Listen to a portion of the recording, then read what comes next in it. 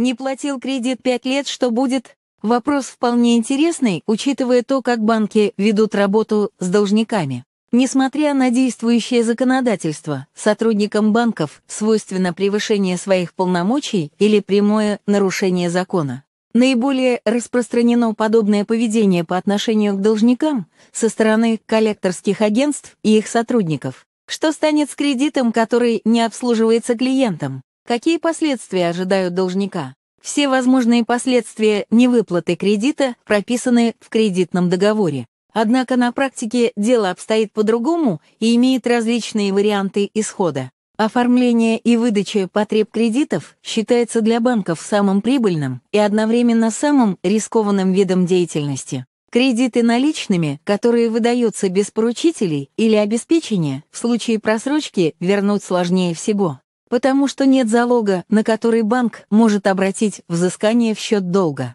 Подробности читайте в полном обзоре.